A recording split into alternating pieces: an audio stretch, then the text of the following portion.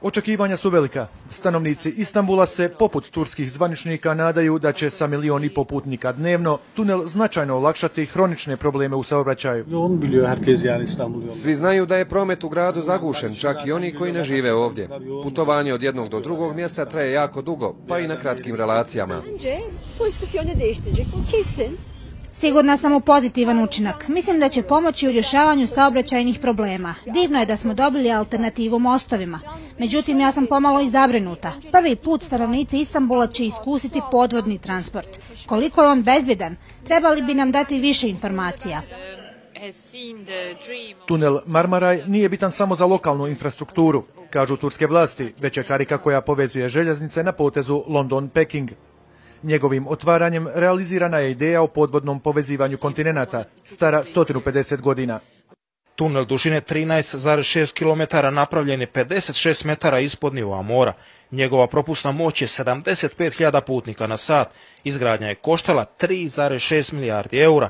Započet je 2004. sa rokom gradnje od 4 godine koji je više puta prolongiran zbog važnih arheoloških otkrića. Na ovaj megaprojekat Erdoanova vlada je posebno ponosna. Realiziran je uz veliku pomoć Japana, čiji premijer je prisustvovao današnjoj svečanosti. Marmaraj ne spaja samo kontinente. On je ostvarenje dugogodišnjeg sna, spaja historiju sa današnjicom i budućnošću. Marmaraj daje smjelost naciji da napravi ono u šta vjeruje.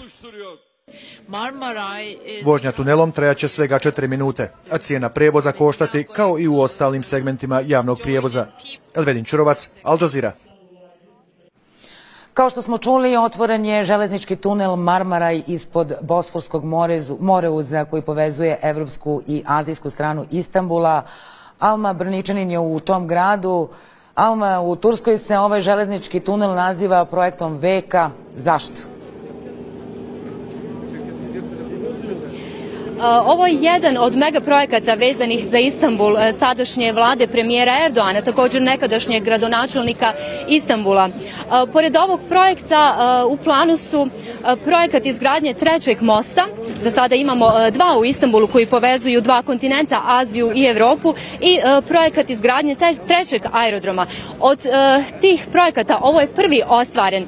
Prije pola sata otvoren je metro podzemnica, to jest podmornica, tako bi se moglo izraziti koja će spajati Aziju i Europu. Sa tačke gdje se sada nalazim Uskudara ići će do Sirkeđija za četiri minute bi trebala stići sa tačke A na tačku B što će olakšati mnogo naravno stanovnicima Istambula. Također ovaj projekat jeste projekat stoljeća zato što je prije 150 godina osmanski sultan Abdul Međid došao na ideju izgradnje nečega sličnog. Naravno to se tada nije moglo ostvariti, a sada evo uz veliki napor Turske koji je trajao više od 9 godina i podrške kako finansijske tako i tehničke japanske vlade izgrađen je Marmara Marmaraj, što bi značilo, dobije naziv, to jest Marmaraj od riječi mramornog mora Marmara, kako se kaže na turskom, i turske riječi raj, što znači pruga.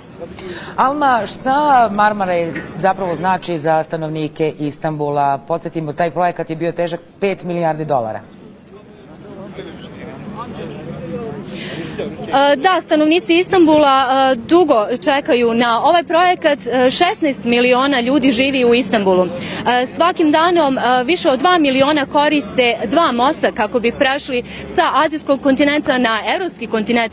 Većina ljudi koristi za stanovanje azijski kontinent jer je, mogli bi reći, nekako mirni i lakši za život, dok su sve velike kompanije s industrijske zone na evropskom kontinentu. Tako da više od 2 miliona ljudi svakim danom mora proći ta dva mosta i minimum sat vremena možete izgubiti dok pređete samo most, da ne govorim dok dođete od jednog do drugog mjesta u Istanbulu. Također oni koji su bez automobila odluče se za brodove koji za nekih 20 minuta stignu od jedne do druge tačke, a Marmaraj sada će to skratiti na svega 4 minute.